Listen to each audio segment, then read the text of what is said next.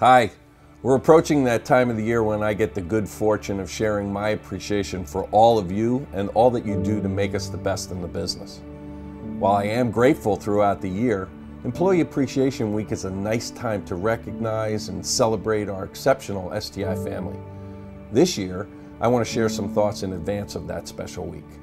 Now, we're about a month away from celebrating the 20th anniversary of when I started this company. There have been a lot of bends in the road, but we keep improving getting better, and remaining ahead of the curve in our industry. Now, that's largely because of you and the pride that you take in your jobs to be the best in the business. I appreciate all the effort that each and every one of you do to make our company the safest, most reliable student transportation provider in North America. Safety is our top priority, and while we lead the industry in safety, we need to be even better, to work smarter, to make the right decisions, and be the very best that we can be. Now, that being said, there is a big issue plaguing the entire industry, our company included, and that is driver shortages.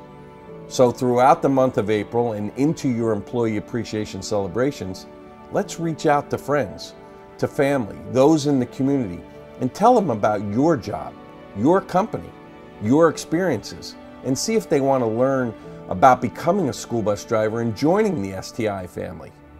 In Macungie, Pennsylvania, Georgiana Willis and her team are hosting a Bring a Friend to Work Day, while all of the Pennsylvania general managers are competing in a friendly contest to see whose region can develop the most creative recruiting event.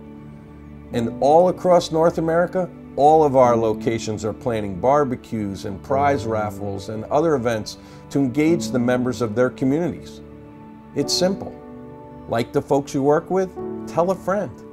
Proud to be part of the STI family? Tell a friend. Enjoy making a difference in your community? Tell a friend.